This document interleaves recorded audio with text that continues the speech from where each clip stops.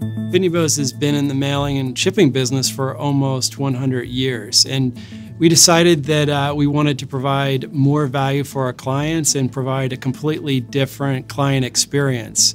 And we wanted to reinvent this business and create a bridge to our next century.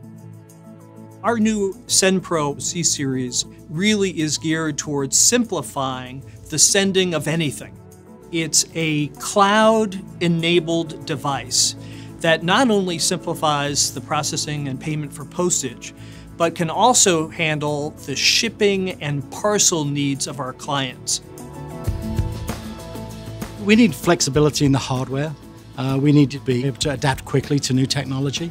We feel Android gives us that capability. It's moving with the times and it's uh, that, that rapid development platform that we needed. It's rewarding because we can bring things to our products that we never envisioned before and do it very quickly. That's the key, is the speed to market. Using this machine was definitely intuitive, it was seamless, easy to use, there was no training necessary. With a tablet-like screen on front, it's like using an app on your phone.